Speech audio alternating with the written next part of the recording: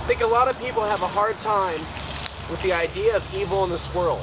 I think that's where the blockage is for a lot of people getting it or waking up. And I've also come to the conclusion, after all these years, that it's an unmindful use of energy to obsess on the awakening of others. But I believe we exist to have our own awakening and in whatever way we can help others. And sometimes show them show them things that we've seen teach them things. Obviously we use multimedia uh, we use technology today to share ideas that were not shared instantaneously years ago.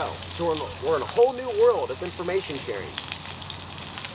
And there's a lot of good that's come from it even though there's a certain amount of uh, of our humanity that's been taken away from our natural state in a world where we're surrounded with so much technology, text messaging, and so many other forms of instantaneous gratification. So I think a lot of people have a hard time coming to terms with maybe not only the evil in this world,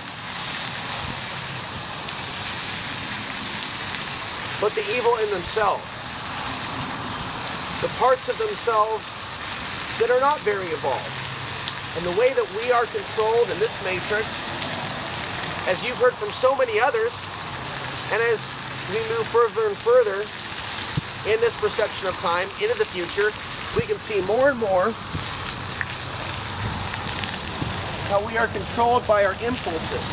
Here's the branding on this box of uh, Kellogg's Special K, Street Crisps indulge your cravings. And in this physical world, where a lot of people in this world confuse pleasure with spirituality, in this world, people chase things of the flesh, of the material realm, that relate to their senses, that relate to their cravings, that relate to their attachments. And it's that way of living that entraps people in this type of a world. You know, and for years I've been consistent also saying that I think that we're in this type of a world for a reason. That's not by accident, that we're not victims.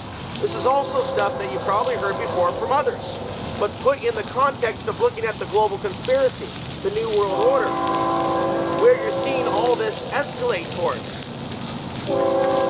The world of transhumanism waiting at the door.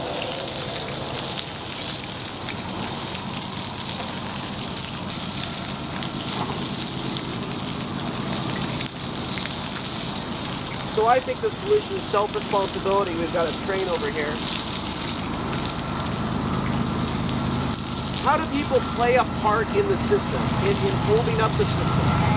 How many people do you know that are working to be self-honest, to hold themselves accountable for how they serve the system or how they how they punish others? that try to free themselves from the system or from doing what everybody else does just to survive. They engage the peer pressure.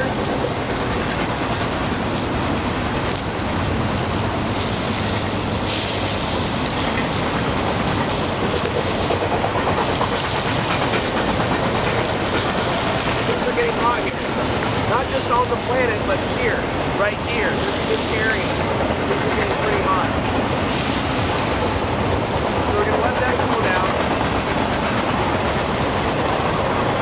So we're going to cut the video for now be back with more.